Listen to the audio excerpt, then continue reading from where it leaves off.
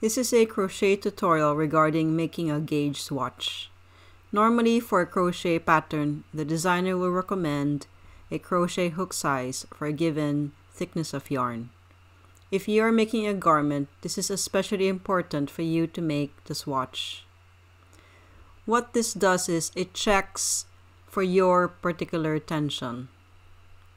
So even though you are recommended a crochet hook size, you still need to check this. What happens is, if your tension is too tight, you will end up with a garment that is too small. The other side is true as well. If your tension is too loose, you will end up with a garment that is too big. So we have examples here. I have used 7, 8, 9, 10 millimeter crochet hooks for super chunky yarn.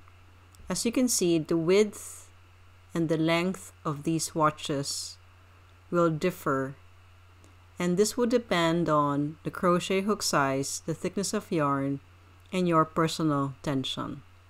For example, the designer has specified that the gauge of 10 cm by 10 cm needs 8 double crochet, and this is in US terms, by 5 rows. What I would normally do is I would make 10 double crochet in every row and I start off with chaining. So if I need 10 double crochet I need 10 chains plus 2 chains as your turning chain. So that gives me 12 chains. And second chain from the hook I do my first double crochet. So in every row I have 10 double crochet and at the end of each row for example here I'm going to turn my work chain 2 and then double crochet 10 times in that next row. And I do this several more times.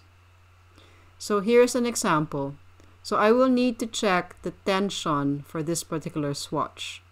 So I need to measure along each row, counting the number of stitches, as well as measuring along the length, which is counting the number of rows that will fit within the 10 centimeter swatch.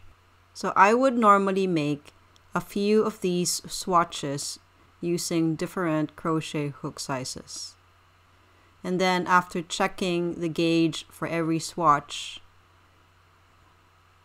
I will simply pick that particular crochet hook size that comes closest to the ideal swatch. Now sometimes I end up with so many swatches and I can't seem to get the particular ideal number of stitches for a number of rows. So for example, if I'm making a sock, so what I would normally do if that happens is I aim for the perfect number of stitches for every row and adjust the pattern accordingly. So for example, if my tension is too tight, I simply increase the number of rows in making that sock. Now hopefully when you make your gauge swatch, you do get the ideal number of stitches for the number of rows. Thanks for watching and see you in the next video.